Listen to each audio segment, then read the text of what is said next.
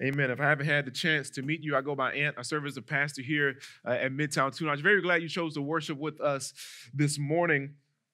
Uh, we're doing something a little bit different from what we normally do today. We're not in a sermon series uh, per se. This was more so uh, we had one one Sunday in the year uh, that was kind of in between sermon series. Where oftentimes when that happens, I like to kind of kind of look at our church, consider our church, and just think through and pray through really.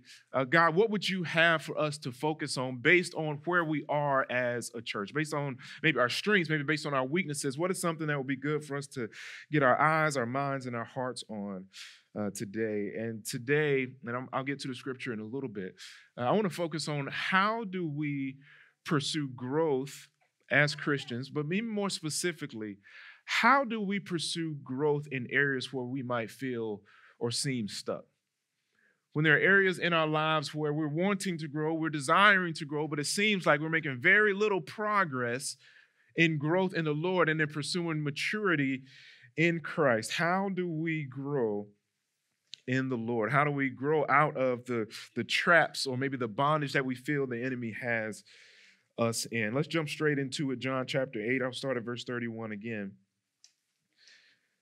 It reads So Jesus said to the Jews who had believed him, If you abide in my word, you are truly my disciples. So he is talking to some of the Jews, some of his people, and he lets them know that if they if they abide, if they dwell, if they live in his word, then they will truly be his followers, be his disciples. And if his word remains in their heart and in their mind, and if they live by his words, then they're truly his followers. Verse 32. And you will know the truth the truth from his word, of course, and the truth will set you free. They answered him, We are offspring of Abraham and have never been enslaved to anyone. How is it that you say you will become free? He's like, Not only will, if you if you abide in my word, and if you know my truth, and if you follow me, not only will you be my disciples, but the truth that you find in me will set you free. So they are they are confused. They don't understand what Jesus is talking about. They're talking about according to them and from their perspective, they're already free. So they don't understand what Jesus is saying to them. So Jesus says this in verse 34 Truly, truly, I say to you, everyone who practices sin is a slave to sin. So, in response to their question, when they're questioning Jesus and asking him, What do you mean we will be made free? We will become free? He points out anyone who practices sin is enslaved to sin. More on that a little bit later. Verse 35. The slave does not remain in the house forever, the son remains forever. So if the son sets you free, you will be free indeed. And so he's he's talking about how in their culture, obviously, uh, there were different forms of slavery that were taking place, and he's letting them know. But if you're a son, then you're you're in the house, you're with the father. You and him, you're you're always with him. So if you're going to be set free, you need to be set free by someone who's already free. And that's the only way that you will actually find freedom. So he's saying, he's talking about himself because he is the Son of God. He is free from sin. He's never been enslaved to sin. He's never practiced sin. He's saying that he is the one that can free us from slavery to sin. So for the next handful of verses, Jesus like, y'all, he basically tells them that they aren't of God because if they were, they wouldn't be trying to kill him. And they're like, we are of God. And he's like, no, God is not your father. He says this starting in verse 44. You are of your father, the devil and your will is to do your father's desires. He was a murderer from the beginning and does not stand in the what? Truth. Because there is no truth in him. When he lies, he speaks out of his own character. For he is a liar and the father of lies. I got a few points for us today if we're going to understand how to not be ensnared and entrapped and and if we're going to understand how to walk in the freedom from slavery to sin that jesus offers us one thing that we need to know is that the devil is a liar. The devil is a liar. I don't know what comes to your mind when you think about spiritual warfare and the battle between god and satan but when it comes to how Satan leads us into sin and how he leads us away from God, the biblical picture here of this battle between God and Satan is often centered around the devil lies to us and God tells us the truth. The devil lies to us and God tells us the truth. God gives us an honest picture of reality so we can perceive Him and perceive ourselves and perceive the world around us accurately. He lets us know what's good, what's righteous, what's beneficial, and what's not. And He shows us how we should treat each other. The devil, also known as the enemy, is a master deceiver. Deception and lies are his native tongue, is what Jesus is saying. And like all good liars, he doesn't just tell you things that are blatantly and clearly 100% false. He tells half truths. He twists the truth. There will be some truth in what he says, but he is always looking to distort that truth in some way. And in a much more damaging way, in a much more damaging way, it's kind of like the uh, the mirrors, like at the fair or at a carnival right? The fun mirrors. You go in, you see the mirrors, and you can see a bit of what's going on, but it's always distorted. But you're never actually getting a true representation of yourself or whatever is around you. And you're getting a representation of it that's distorted, that's off, that's disproportionate, that emphasizes the wrong things. This is how the enemy attacks us, where he gives us a distorted picture of what is there, and he leads us away from the truth of God through his half truths. We won't turn there for the sake of time today. But in Genesis chapter 3, when he is looking to tempt Eve, he tempts her by, by telling her uh, and quoting to her in some ways, maybe twisting it a bit, what God said. Right? He doesn't just come in telling her what she should do or what she should believe. And what is he? He's bringing up to her, yeah, God brought this up to you, right? But didn't God say blank? It's a twisting of the truth. It's not just a lie that's completely separate and distant from anything that's real, which allows him to be even more deceptive and allows him to, if we are not careful and very aware of what the truth actually is, it allows him to be more effective in deceiving us. I mean, you got to think about it. He comes to Jesus in the wilderness quoting scripture, he's quoting the word to the living word of God. This is how he goes about trying to deceive us. Jesus obviously responds by quoting scripture back to him, but he's he was twisting the scripture to try to get Jesus to do something that the scripture would never have called Jesus t- to do. He twists the truth, he, he bends the truth. Second Corinthians chapter 11 says, And no wonder, for even Satan disguises himself as an angel of light. So he uses disguise. He wants to, to come across as if he is for our good and our benefit. This is the primary way that he looks to attack you. He wants to play on your desires to make you think that the truth that God presents to you isn't actually true. And he will use whatever he can to deceive you. He uses whatever he can to get you to believe something that is in opposition to God's word. He'll use your past.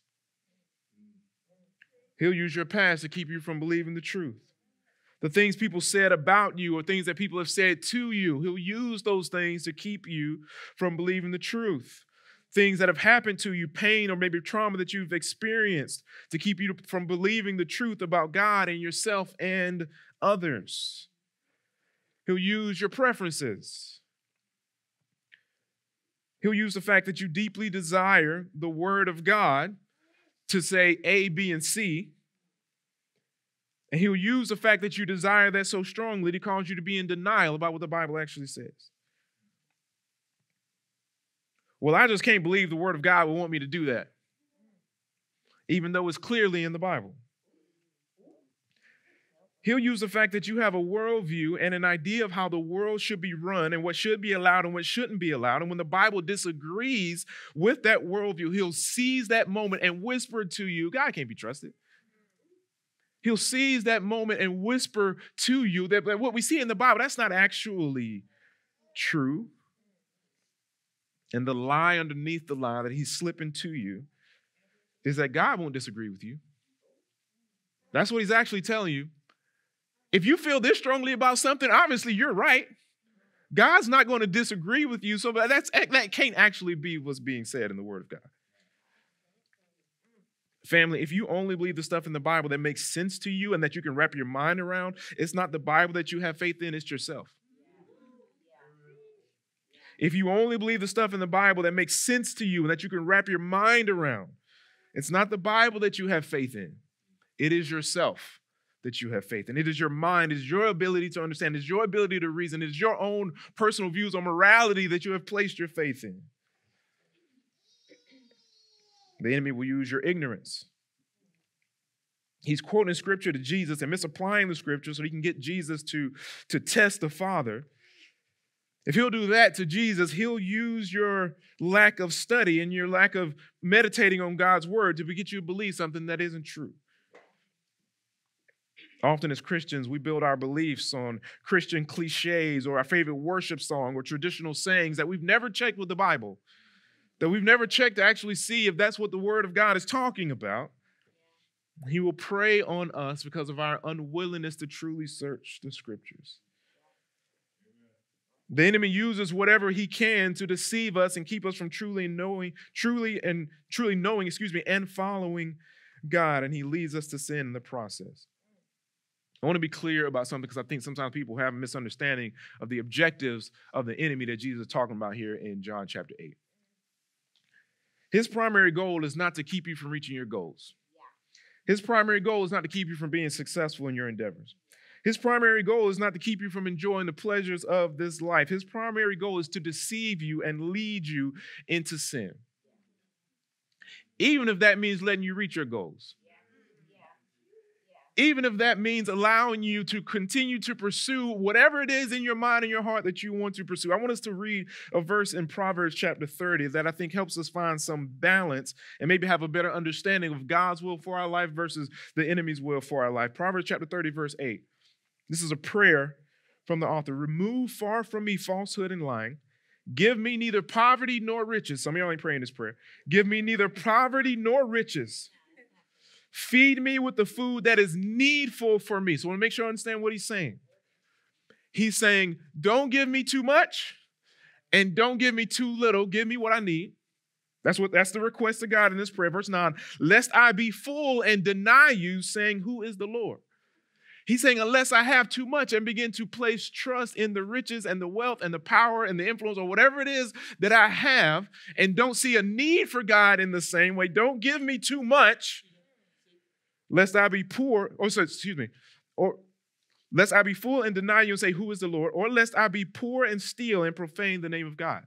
Also, don't cause me to be so poor that I turn away from you. The, the, the desire, the, the heart of the author of this proverb here is God, you know what's best for me. Give me what is best for me. Even if that is different from what I personally desire for myself.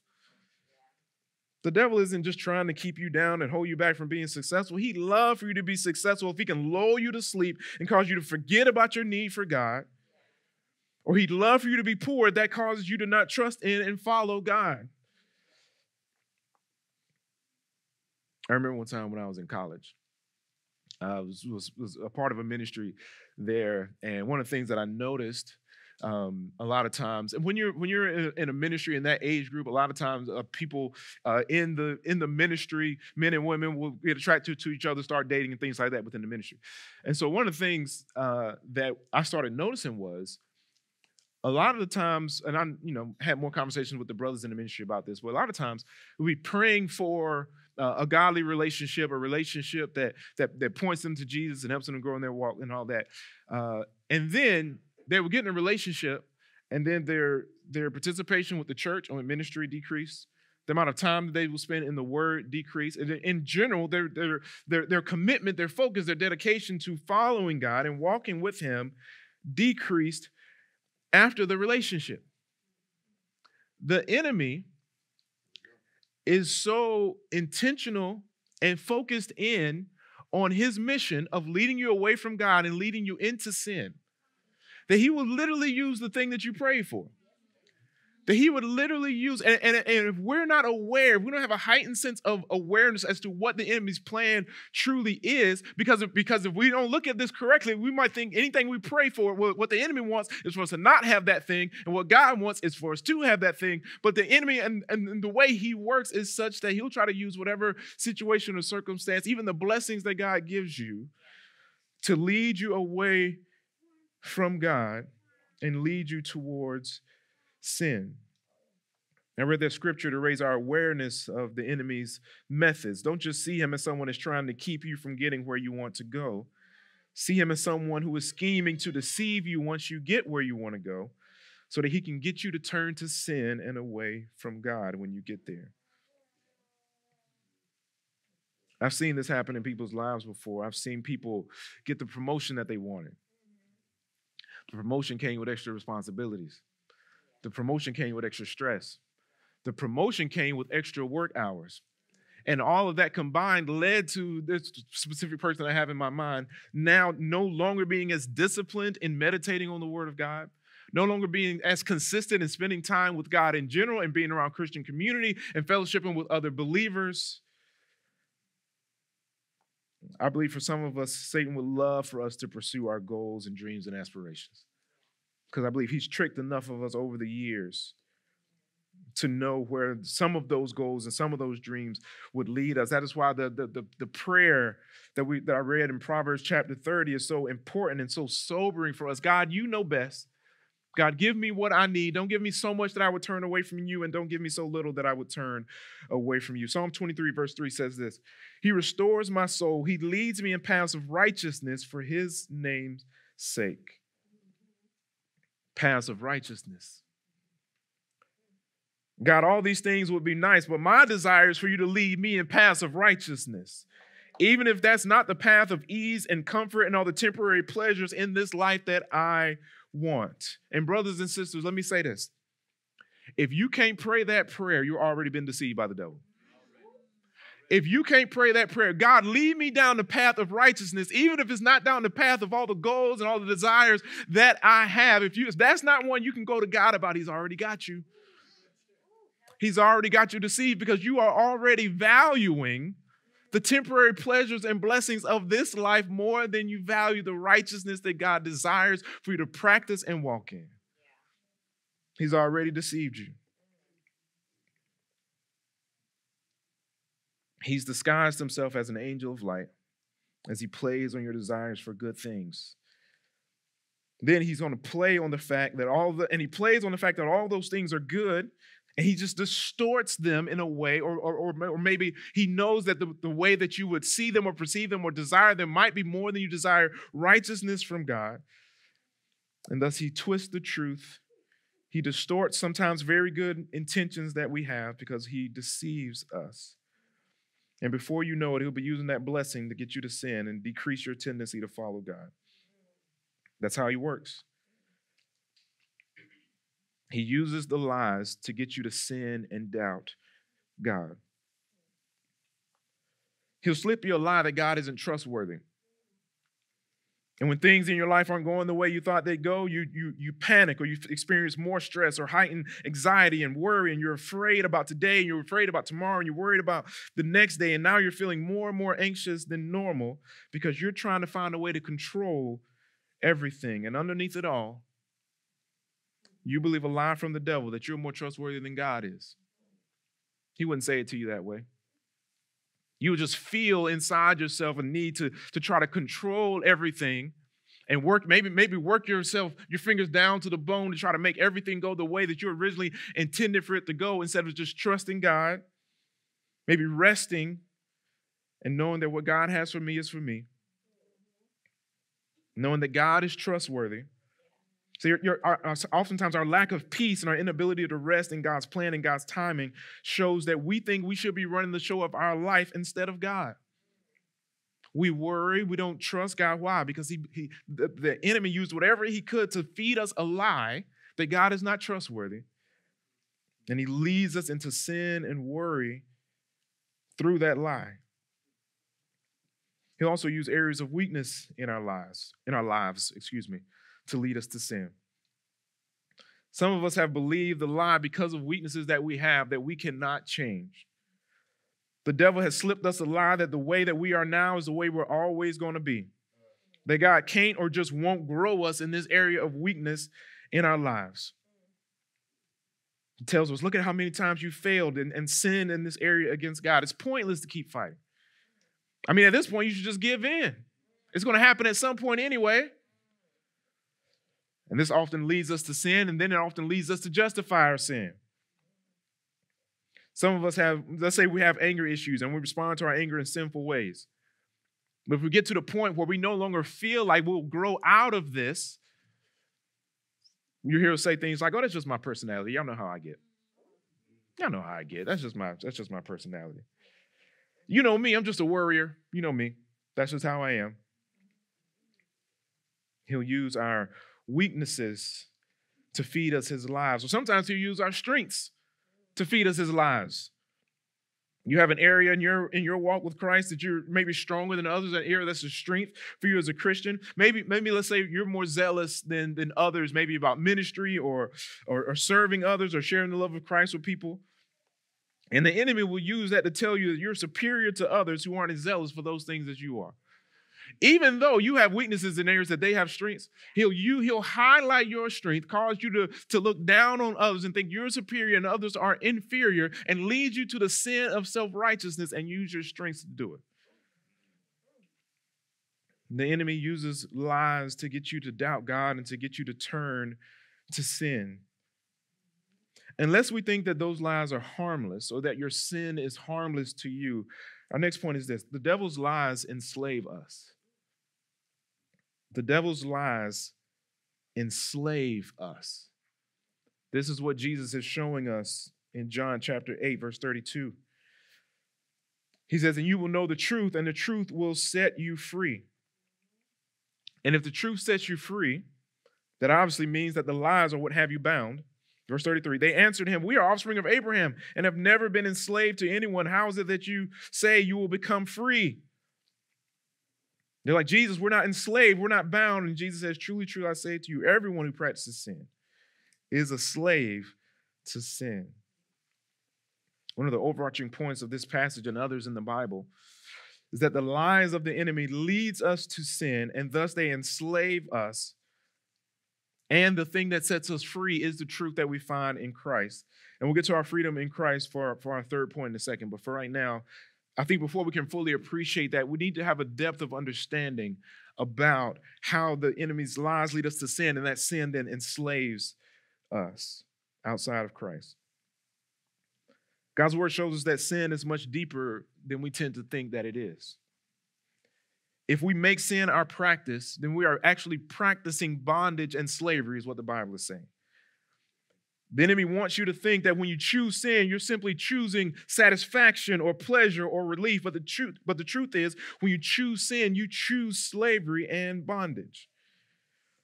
The enemy wants to use deceit to enslave you to sin.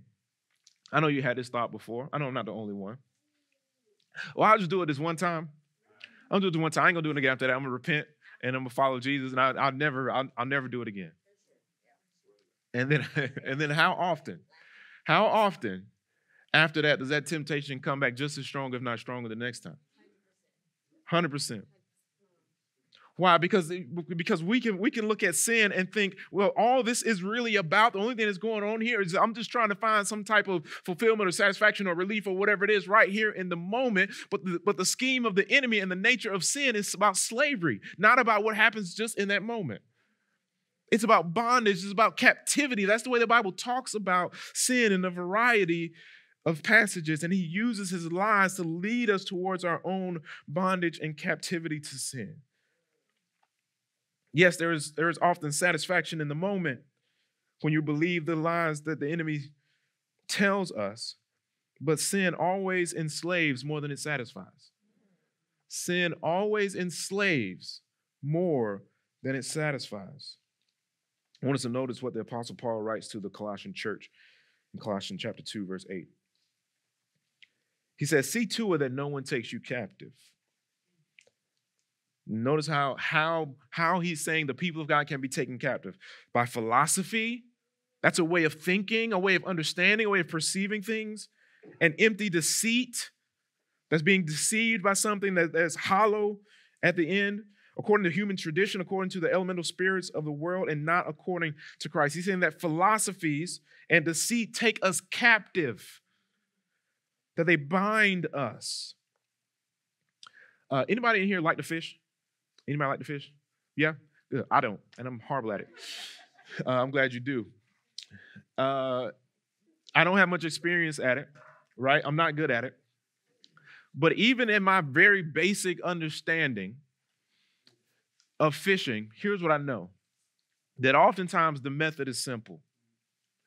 Let me take something that you like and something that you want and make sure you see that.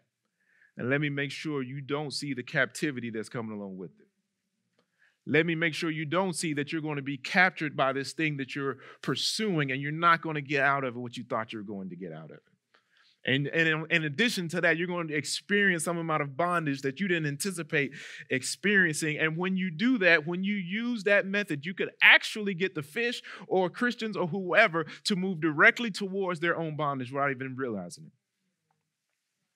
That I don't even have to overpower you. I can just lure you in. And if you're a Christian, here, and, I, and let me say this, uh, especially if, uh, for maybe Christians who haven't been Christians for a very long amount of time, or you're just starting to really follow Christ and trust Christ and that kind of thing. Let me say this to you. One of the things that you need to know from the beginning, even if you don't have an extremely high amount of knowledge or experience as a Christian, is that this is what the enemy does. That there's always a hook under the bait that every single time there is a hook under the bait. He, his, his desire for you is never for you to actually experience the joy and pleasure and fulfillment that you desire. You can still know the base, even if you're not the most mature Christian, you can still know the basics of what the enemy wants to do to lead you away. He wants to show you the things you like and hide the thing that captures you. And one of the reasons that it's so difficult to turn away from sin, I believe, is because our actions are determined by our beliefs. I'll say it again. Our actions are determined by our beliefs. And it's, it's difficult to change very deeply rooted beliefs or deeply ingrained beliefs. You ever met someone who, for a variety of reasons, has just come to the has come to the belief about themselves that they just can't achieve? If you ever met somebody who, who, who's like that before, that they've just maybe they've just been told that a number of ways. It is incredibly difficult to uproot these ingrained beliefs that we have from lives that we've lies that we've believed about ourselves over and over and over again. And one of the reasons it's so difficult to turn away from sin, one of the reasons that sin is so enslaving to us, is because it's not as simple as I know I need to stop, so I'm going to stop because the sin oftentimes is rooted in a deeply ingrained belief that we have that the enemy, because the enemy has been feeding us lies over time, time and time again. To, to undo deeply ingrained beliefs, you can't just muster up the willpower to stop believing those things or stop doing it, but it, it requires training. It requires an ongoing commitment to the process of training ourselves to think differently about ourselves, think differently about others, think differently about God. And this is often a very challenging oftentimes frustrating, oftentimes a very daunting amount of effort that we have to put into it. But praise God that we know the one who is the truth. Amen, church. Point number three Jesus' truth is greater than the devil's lies. Jesus' truth is greater than the devil's lies. 2 Corinthians chapter 10, starting at verse 3. I love this verse says, For though we walk in the flesh, we're not waging war according to the flesh. We're talking about spiritual warfare here. That's the topic. Verse 4 For the weapons of our warfare are not of the flesh, but have divine power to destroy strongholds. So a stronghold is a, a, military military term that they would use uh, to describe a fortress. It can even be used to describe a castle, something that is very heavily fortified, something that is very, very protected and hard for an enemy to come in and invade or take over or conquer. It's somewhere that's very well defended. And so he's saying in the spiritual battle that he's talking about, a stronghold is a place where the enemy seems to be in control. Maybe in your life individually, maybe in the life of, of, of Christianity on a larger scale a place that seems impenetrable, a place where it seems like you can't win, an area where you've fallen for his traps and his schemes and chosen sin over God over and over and over again. Here, Paul is saying that we actually have weapons to fight with that are empowered by God Himself to destroy those strongholds. So he's saying he's giving you a picture of an area that's so heavily fortified that it looks like it can't be beaten. And then he says, But you have weapons from God that are empowered by God to be able to even destroy the strongholds, the fortress, the fortified place that seems like it can't be destroyed. And the apostle is going to tell us how to deal with these strongholds, how to deal with this captivity, or, or, or maybe another way of saying it is he's going to show us how to walk in the freedom that we have in Christ from slavery to sin.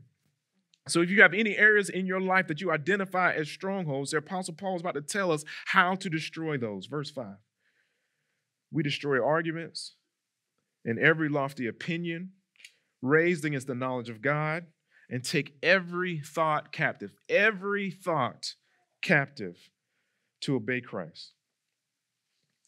I don't know if you noticed this or not, but Paul just equated those strongholds with arguments with beliefs, with, with reasonings and judgments and decisions and ways of understanding.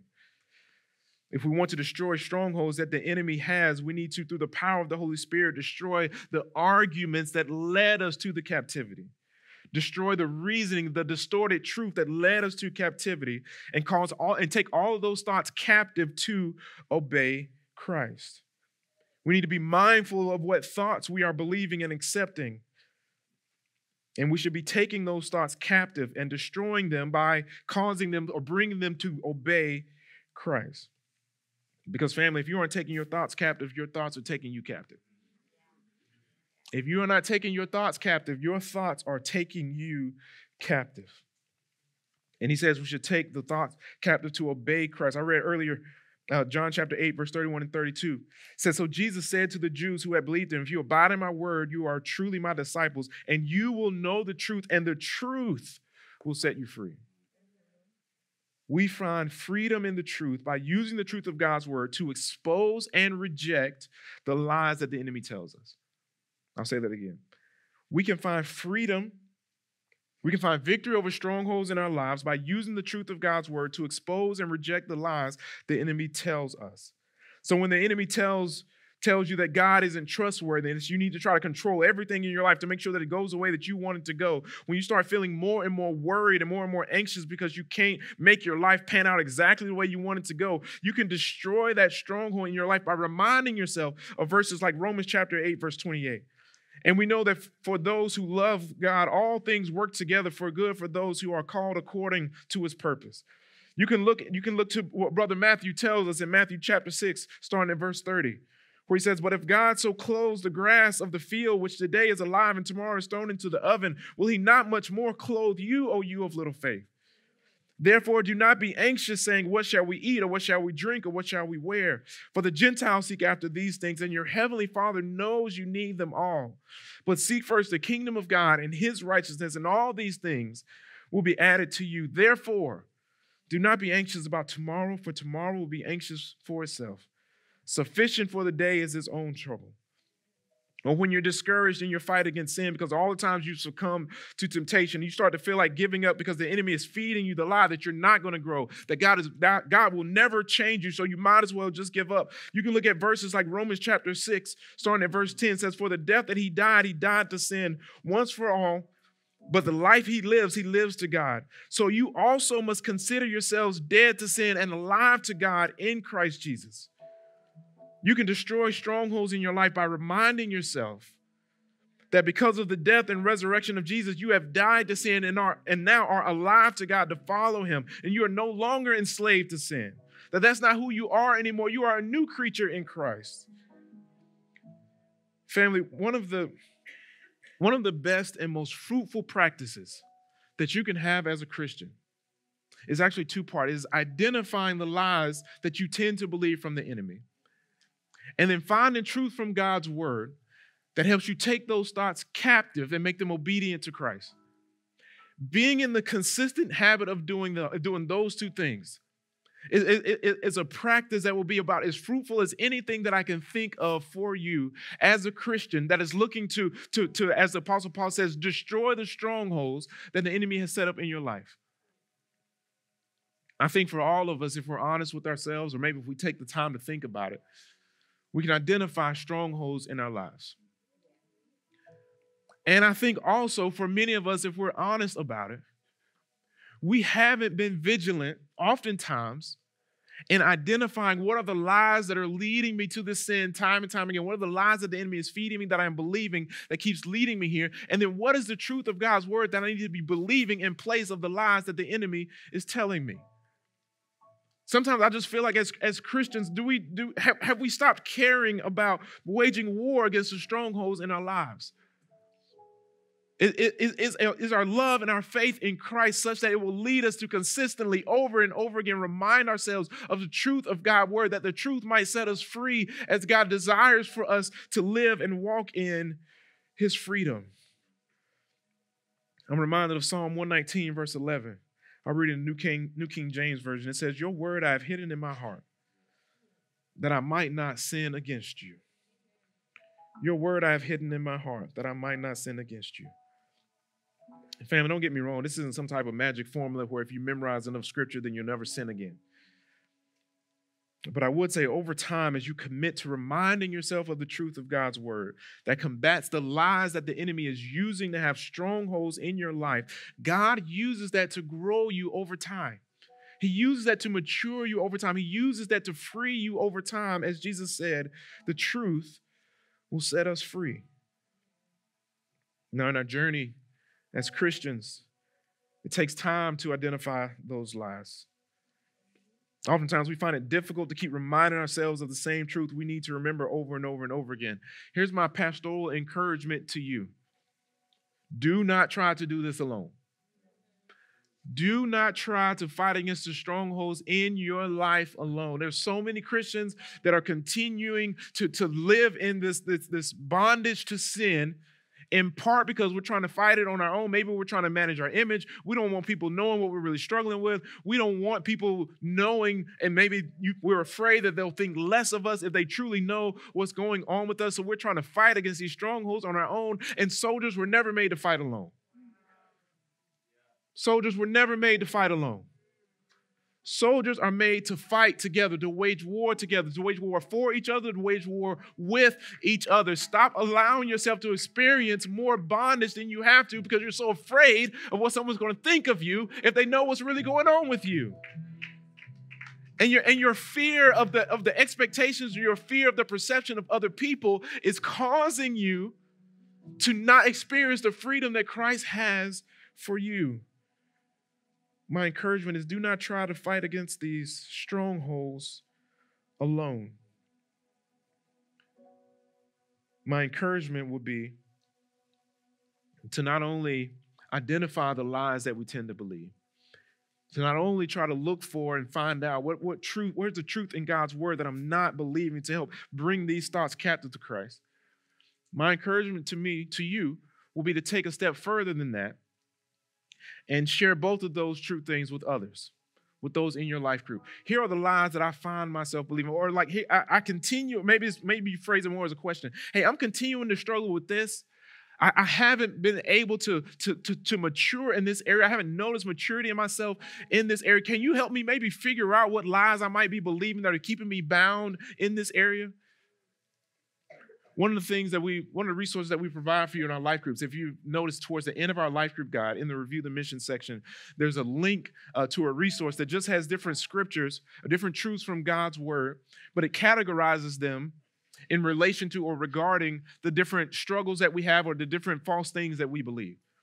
So the goal is that when, when we are able to identify maybe some of the, the lies that we believe from the enemy, to be able to equip you with and give you scriptures that you can turn to time and time again. My recommendation would be when you find the ones like, yes, this is what speaks to exactly what I'm dealing with. This speaks specifically to the stronghold that I've been fighting against. My, my recommendation to you is not only not only you memorize those, but let those in your life group know, hey, these are the scriptures I need to be reminded of.